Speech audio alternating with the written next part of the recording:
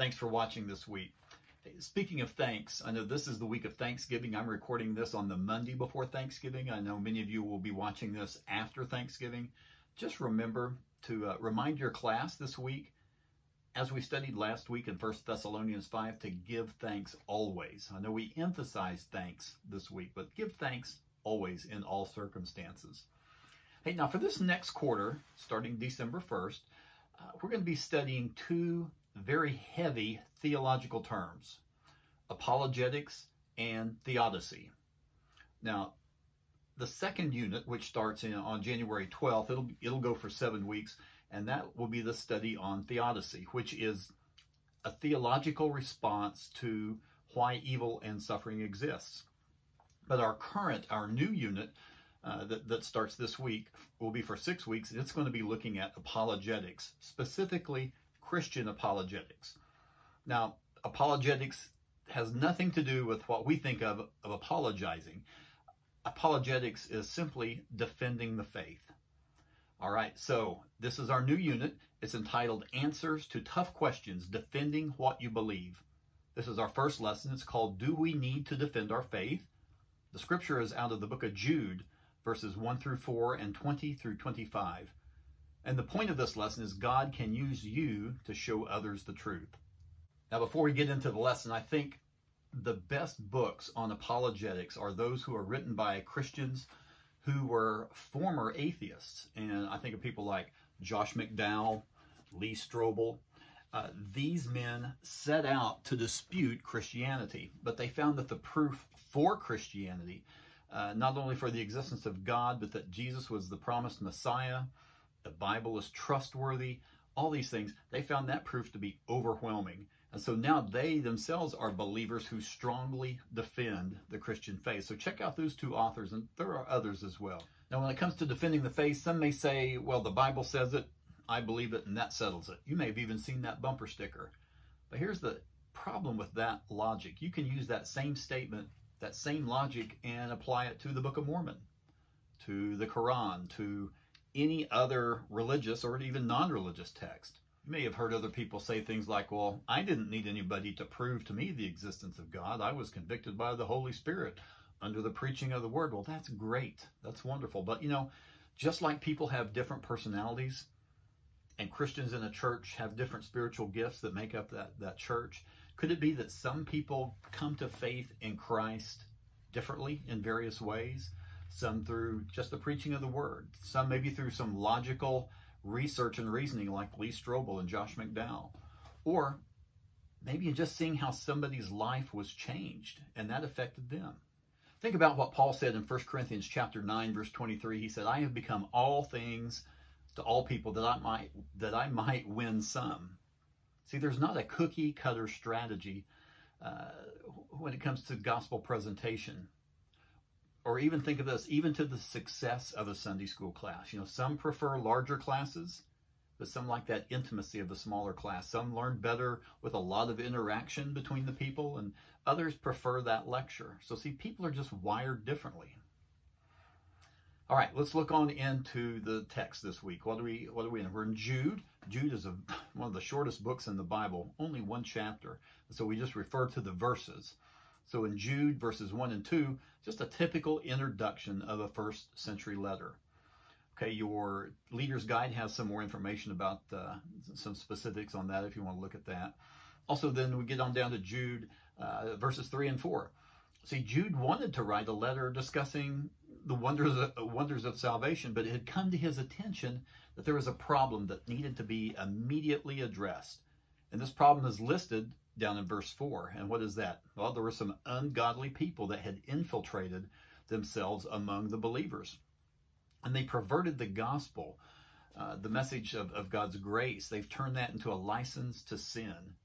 And they even denied Jesus, either by their words. Now, re- remember last month, our study in uh, 1 Corinthians 12, verse 3. Uh, we mentioned that a spirit enabled person would never say Jesus is accursed. Okay, so it could could be that they were denying Jesus like that, or they could have been denying Jesus just by their actions, by the hypocrisy, by saying one thing, uh, acting another. And this is what Craig Groeschel calls uh, talks about in his book, The Christian Atheist. Yeah. Now, it could be that Jude is addressing uh, the beliefs of the Gnostics, and Paul also addressed this heresy in, in Colossians and in 1 Timothy as well. Now, here are some beliefs about Gnosticism. One is that knowledge is the key to salvation. And of course, they themselves, the Gnostics, held that knowledge. They were keepers of that knowledge. They also thought that flesh was evil. All matter was evil. And so they denied then that Jesus actually came in the flesh because the flesh is evil. And so he just had that appearance of a man. Also, they believe that God is very distant, uh, that he's not involved in creation. Uh, he's far removed from humans. Um, so, so their Gnosticism there could be taken to one of two extremes because of that flesh is evil. They could say, well, all matter is evil, all flesh is evil, so it doesn't matter what I do. Sexual immorality, get drunk, uh, whatever I say, it doesn't matter. I can't improve on my condition. Therefore, I'm just going to do whatever I want to. And Paul addressed this uh, elsewhere, like in Romans chapter 6, talking about the libertines, where they said, um, uh, that was their their thought was that I can just do whatever I want to, and because God's grace is so great, His grace abounds even more. But how did Paul answer that? He said, "What shall we say then? Shall we keep on sinning so that grace may abound? By no means." Or King James says, "God forbid." So that's one way they could look at uh, that all flesh is evil. Or the other way is that since all matter is evil, all flesh is evil, I have to deny myself every pleasure known. Know, you've got the people who beat themselves, uh, deny themselves of everything, this asceticism type of lifestyle. Well, it's this heresy, whether it's Gnosticism or something else, that was the problem. And so, what were the recipients of Jude's letter supposed to do? They were supposed to, in verse 3, it says, contend for the faith. And contend is, it's this Greek word, it's only used once here in the New Testament. It's used elsewhere to describe uh, the struggle in an athletic contest. And, and, we use that word today, don't we? The English word when we're talking about boxers uh, contending uh, in the ring. Now, Christi- so here's the thing Christianity isn't just about love and acceptance. It needs to be confrontational sometimes, and it can be. Um, remember last week we talked about all Christians are called to admonish when needed, and admonish means to, to call out, to correct. But remember what we talked about also, we have to do so lovingly and with mercy, as we'll see a little bit later. So, how do these people with this heresy, how do they get into the church? Well, it says right there in the text, they slipped in, they crept in, and that's how most sin enters, either a church or in a person's life, isn't it? Now, I don't believe that coffee nor uh, spicy foods are sinful in and of themselves, but I think that the way I enjoy them now I believe this illustrates this very well. Like when I first started drinking coffee as uh, early in college, it was probably half coffee, half sugar, and half cream. Okay, three halves. And and so as, as I developed that taste for coffee, the cream and sugar got less and less and less. And so now I just drink black coffee and I like it bold, black and bold. That's the way I like my coffee. Now, I couldn't have tolerated that 30, 40 years ago. But over time, I got used to it. And it's kind of the same thing with, with spicy foods. Uh, back way back then, couldn't stand the spice. I'd add a little bit more, a little bit more. Now I like spicy foods. What I didn't used to be able to tolerate, I now enjoy. Okay, that's the same way that sin can creep in, heresy can creep into a person's life or into a church just a little bit at a time. Now, verses 5 through 19 aren't in our lesson text, but a lot of detail there about the ungodly folks that are mentioned in verse 4. So the book's so short, go ahead and read that before you go to class. You may even want to read it in class just to give a little more background there.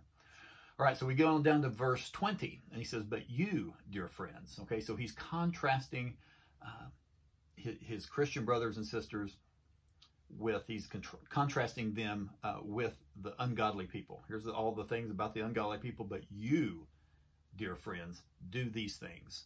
So be proactive in your faith, and the best the best way to minimize the influence of the negative is to strengthen the positive. To prevent decay, you have to grow. So how do you do that? Well, Jude mentions a couple of things here. He says, build yourself up in the faith. Well, see, salvation, that's God's work, but discipleship, growing in the faith, that's up to us. We have it's up to us to learn the truths of the doctrine and, and not be fooled by heresy. All right. It also tells us to pray in the Holy Spirit, to pray in harmony with the Spirit, not not on our own agenda, but but the agenda of the Holy Spirit.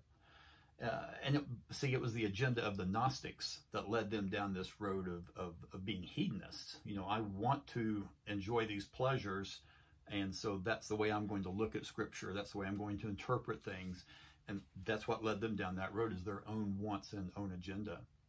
Also, he talks about keeping yourself in God, or keeping yeah, keeping yourselves in God's love. And um, is there anything though that can separate us from God's love? That sounds familiar, doesn't it? Out of Romans chapter eight, verses thirty-seven through thirty-nine, you can read that. Height, depth, all that. Nothing, absolutely nothing can separate us. So, what does this little verse mean? Well, what does Jesus say over in John chapter 15, verse 10? He says, If you keep my commandments, you remain in my love. You see, obedience to Christ's commands keeps us in the center, in, in that sweet spot of God's love. Now, nothing can separate us from God's love, but our actions, our disobedience, our, our drifting, that can take us away from, from the benefits of being right there in the center of God's love.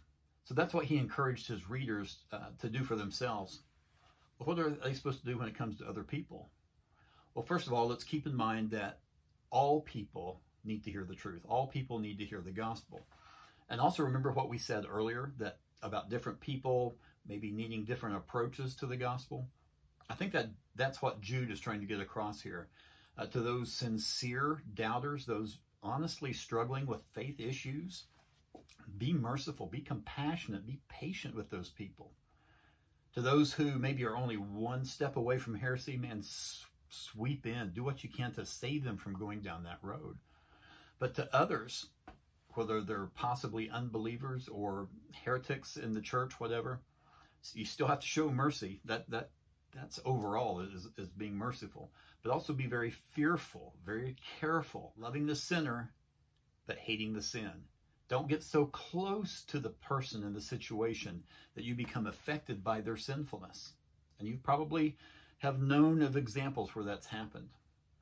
Well, as we conclude here, Luke chapter 10, verse 27 says, Love the Lord your God with all your heart, soul, strength, and mind. Jesus just doesn't say, Love God with your heart and soul. The Christian faith is more than feelings. Even though it includes feelings, it's more than that. It's more than that warm, good feeling. It also includes our in- intellect as well. And so we need to grow in our intellect of Scripture. So when people come to us with questions like 1 Peter 3:15 says always be prepared to give an answer to anyone who asks you to give the reason for the hope that you have. And the last little bit of that verse says but do this with gentleness and respect.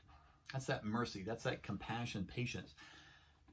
Standing and yelling in people's faces and uh, standing on the street corner and, and yelling to me doesn't really accomplish anything. Let's do this. Let's build relationships and do this with gentleness and respect. Let's use that intellect to show others the truth, and that's the point of this week's uh, this week's lesson. Next week, we're going to be looking at a basic question concerning defending the, the faith, and that is just the basic question: Is there even a God? We'll be looking at two passages out of the Old Testament book of Psalms. So, pray for your class this week that they will be thankful in all situations and um, that they'll be better students, uh, not just in your class, but students of the Word, where they'll be able to defend their faith even better than they do now. Thanks, guys.